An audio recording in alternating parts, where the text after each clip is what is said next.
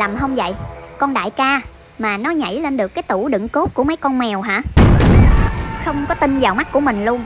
Phải trích xuất camera, Coi lại. Lúc này là 8 giờ 51 phút. Chưa thấy đại ca xuất hiện. Con quạo ngồi ở trên cái tủ đựng cốt. Con miêu bước vô trong nhà. Và bây giờ chúng ta hãy đếm ngược 3 giây. 3 2 1 Người nhện đã xuất hiện. Khoan khoan. Tới đây là tôi hơi bị lắc nè.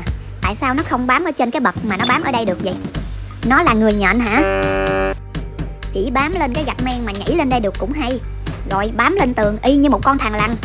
Và nó tận dụng cái thước tấc ngắn ngủi của nó mà bám lên cái thành tủ. Khoan khoan. Ngưng. Ủa, con này nó không sợ tét háng sao ta? Nhưng mà sao ngộ nè? Cái tường bằng phẳng nè. Sao mà nó dùng chân đạp lên được ta? Thôi bây giờ coi lại full video từ đầu.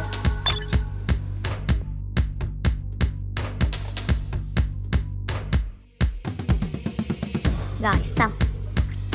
Hình như có một lần tôi nói với mọi người Nếu con đại ca nó nhảy lên được cái này Tôi sẽ kêu nó là sư phụ. Lúc này tôi đang quay lén nó Chưa có biết tôi đứng đây nha.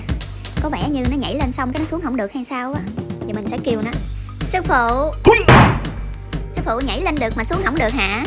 Nó ngồi trên đó nãy giờ là lâu lắm rồi đó bà con. Sao? Vô bắt mày ra nha. Chịu không Trả lời quá trời. Thôi, để đệ tử vô bắt sư phụ ra nha. Sợ. Nó sợ lắm. Thà là nó tự nhảy xuống. Thôi, nhảy xuống làm chi để tao vô bắt mày xuống cho. Nha.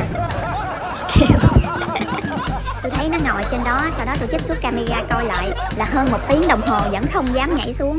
Mà tôi đứng ở đây, tôi nói tôi sẽ bắt nó xuống. Rồi lúc này nè, Anh kiếm đường nhảy xuống, Chứ không để cho tôi bắt xuống đâu. Rồi sao giờ? Ai ai từ từ từ từ